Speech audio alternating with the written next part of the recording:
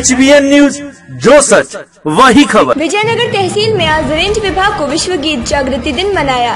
विजयनगर तहसील के प्राइमरी शाला नंबर दो में आज सात सितंबर यानी कि विश्व गीत जागृति दिन रेंज विभाग से मनाया गया। ऐसे में रेंज विभाग के एस श्री योगेश भाई देसाई साहिब और विजयनगर रेंज के RFO Shri V K Patel, Dholwani range के RFO Shri S T Parmar एवं उनके स्टाफ हाजिर होकर विजयनगर प्राइमरी शाला नंबर दो के बच्चे को गिग के बारे में बताया।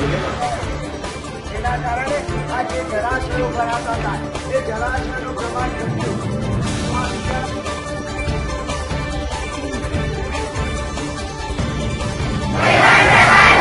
નુકસાન પહોંચાડીશ નહીં